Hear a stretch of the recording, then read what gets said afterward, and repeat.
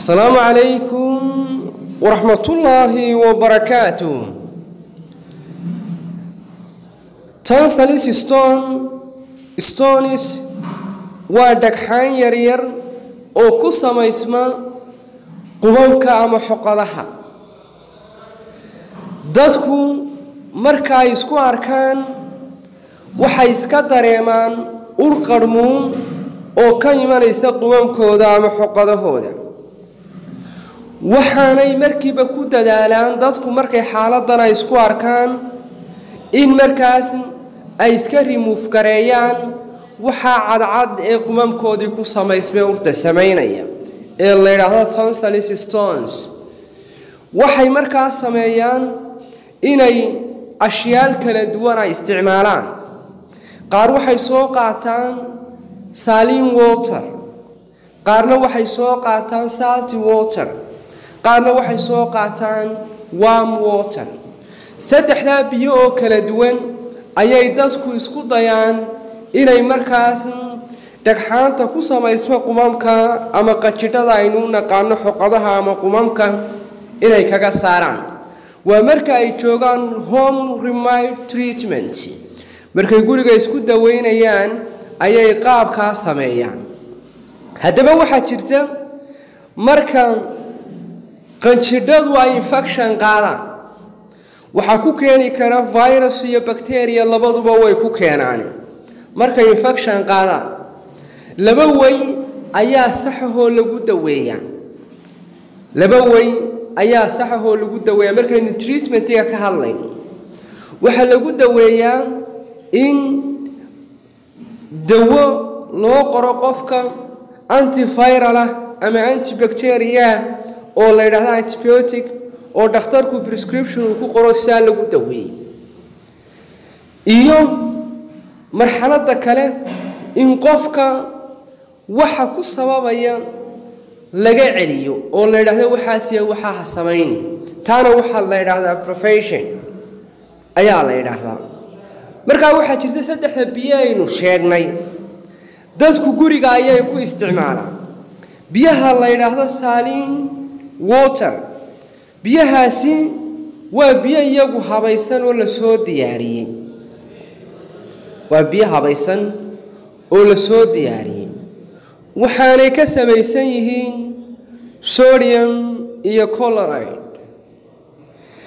biyaha kale ee iyaga la yidhaahdo salty water dadka ayaa waxa ay ku diyaarsadaan guryaha oo cusbadan cuntada aynu ku darsanno ayuunbay biyo ku daraan kadibna way ku luqluqdaan ama waxa ay ku nadiifiyaan cunaha.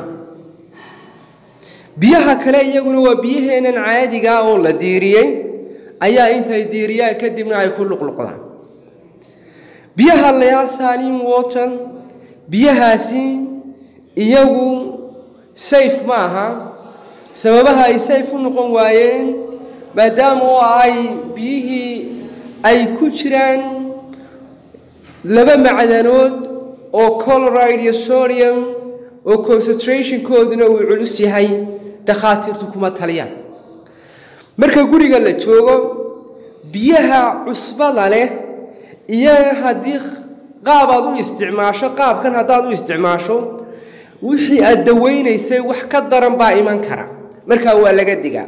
Cusbada aynu ku darsanno cuntada oo biyo yar lagu shubay oo qofku uu ku luqluqdo isagoo doonaya inuu iskaga dilo dhagxaanta ku samaysma qajidhada xoqodaha ama qumamka oo afkiisii uu ku nadiifiyo caabuqiina uu kaga saaro doonaya haddii aad qaabkan u isticmaasho oo afkaad saru taagto kadibna aad biyihii istiraado ku luqluqo waa laga digaa.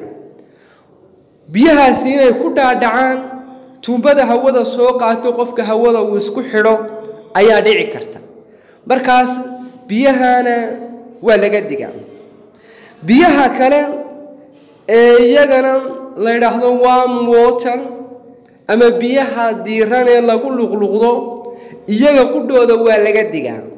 Sababta looga digaana waxa ay tahay mararka qaar qumamka waxa kiciya cabbitaanka kulul oo waxyaabaha kiciya ee keenay qofkii qumamkiiba inay ku kacaan waxaa ka mida qabowga iyo macaanka iyo kulaylka. Saddexduba way kiciyaan laakiin kulaylku waa ka ugu sahlan ee kiciya.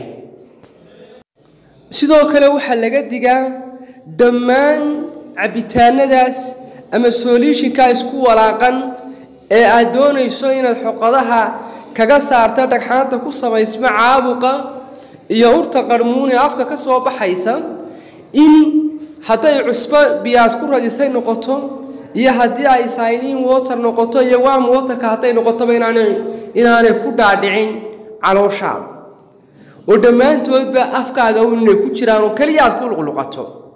Markaas mid kasta oo aad samaynayso inaad ka maarmi karto oo cabbitaanka qabow iyo barafka iyo waxyaabaha kugu keenaya iyo hadalka badan iyo waxaas una iska dhaafta ayaa muhiima. Haddii markaa caabuqi uu kugu sii batay inta hore ee caabuqu uu bilowga yahay xanuunkan waa la daweeyaa si fudud baana loo daweeyaa. Waxa wanaagsan inaad dakhtar aad tagto dhakhtarka e n t-ga la ydhahda aad tagto oo qumamkii caadi a iskaga daweyso waa sida ugu fiicane xanuunkiina uu kaaga tegayo? Adigiina aad ku badbaadayso. Laakiin inaad mar kasta cabbitaan naftaadii khatar sii gelinaya intaad luqluqato afkaas sare u taagto waa qalad. Adiga oo biyo cusbale ku luqluqanayana weliga afka sare ha u taagin. Afkaagu waa inuu hoos u hooseeyaa si biyuhu waa inay afka ku jiraan. Haddiiba aad samayso inaad samaysana waa qalad. Intaas ayaan ku soo ururinayaa wasalaamu calaykum waraxmatullaahi wabarakaatuh